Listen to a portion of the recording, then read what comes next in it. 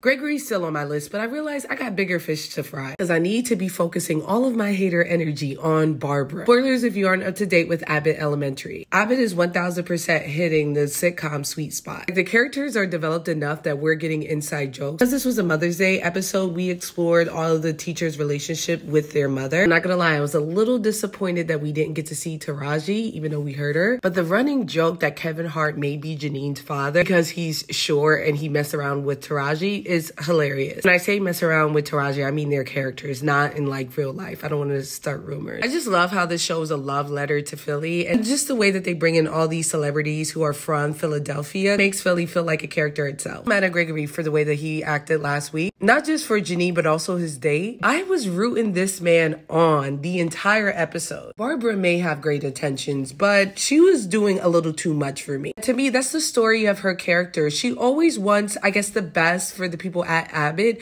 but she feels like she knows what's best. And it may just be her maternal role, but she's always going to push her rhetoric on other people, regardless of how they feel. You know what? Gregory obliged her for a second. And when she went too far, he respectfully set boundaries. Barbara reminded me of my mother. And I'm sure a lot of you can relate with me on this, where they take on these burdens and these huge events and refuse any help. I'm not going to hold you. I was waiting for Barbara to be like, ain't nobody helping me in here, even though she refused it the entire time. Writers and the actors did such a great job of making all of these scenes feel very cringy, but also hilarious and endearing in some way. As irritated as I was with Barbara and with Greg from the last episode, I found myself forgiving them by the end of it. Still watching them, particularly Barbara, because I feel like she'd be toxic towards Janine, but giving them more grace because I understand their perspective and at least where they're coming from. But overall, this episode did such a great job of developing all of the characters. Once again, Ava had a moment where she got to develop her staff, particularly Jacob. One of the funniest scenes of the episode, Jacob finds his voice